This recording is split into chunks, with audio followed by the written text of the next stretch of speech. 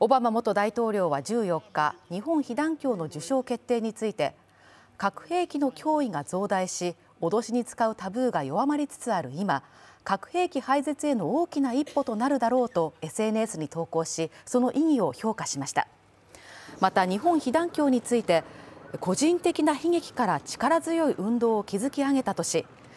その活動は核兵器なき世界の追求がより安全で安心できる世界を子どもたちに残すために不可欠であることを思い出させてくれるなどと称えました。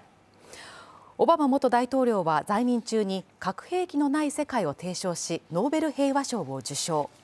2016年にはアメリカの現職大統領として初めて被爆地広島を訪れています。